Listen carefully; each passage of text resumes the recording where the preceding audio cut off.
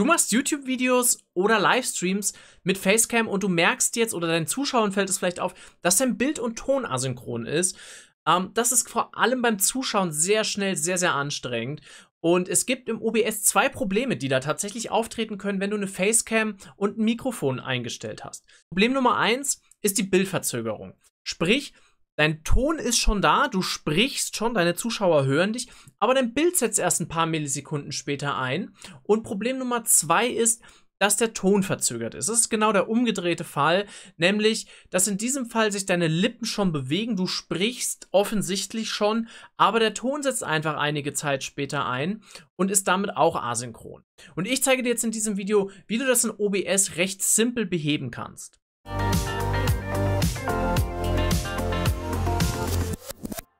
Du kannst einen relativ einfachen Test machen, ob du asynchron bist. Das heißt, du nimmst einfach einmal ein Video davon auf, wie du klatscht. Einmal so.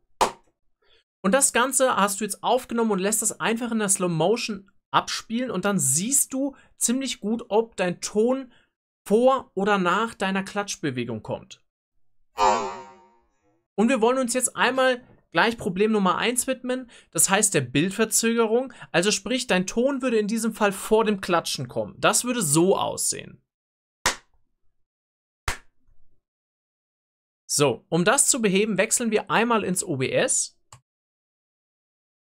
Und jetzt gehst du in deinem Audiomixer hier auf das Zahnrädchen und klickst auf erweiterte Audioeigenschaften.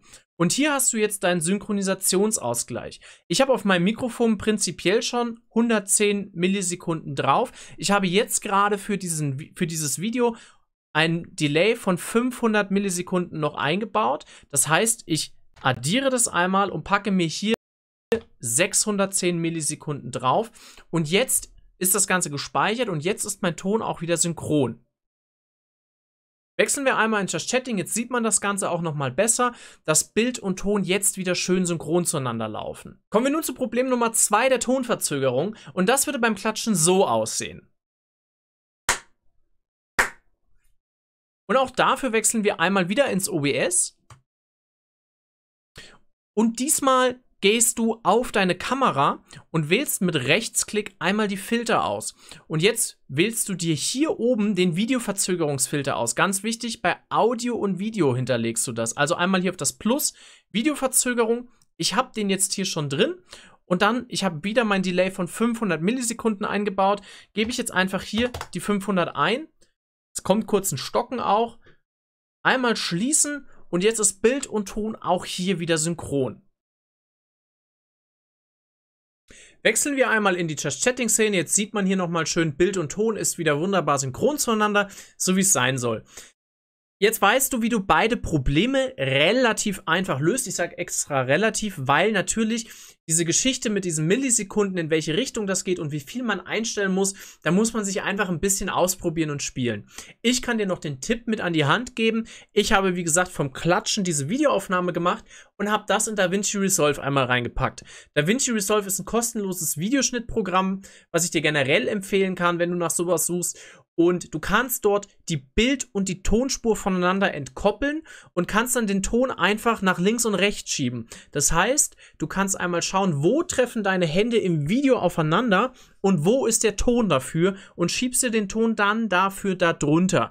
Du kannst das Ganze in einer Slow-Mo machen, dass du das schön gut anpassen kannst und dann zeigt dir DaVinci Resolve in dieser Tonspur auch an, wie viel Millisekunden oder Sekunden du das nach links oder rechts verschoben hast, sodass du das gut als Ansatzpunkt nehmen kannst für deine Einstellungen im OBS.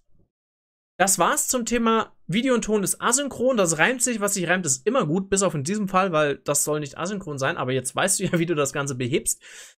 Wenn dir das Video gefallen hat oder geholfen hat, lass gerne ein Abo und einen Daumen nach oben da. Und wenn du Bock hast, schau auch sehr gerne meinen Twitch-Streams mal vorbei. Ich stream immer mittwochs um 19 Uhr, freitags um 17 Uhr und sonntags um 16.42 Uhr. Ich würde sagen, bis zum nächsten Video. Dog is out. Ciao.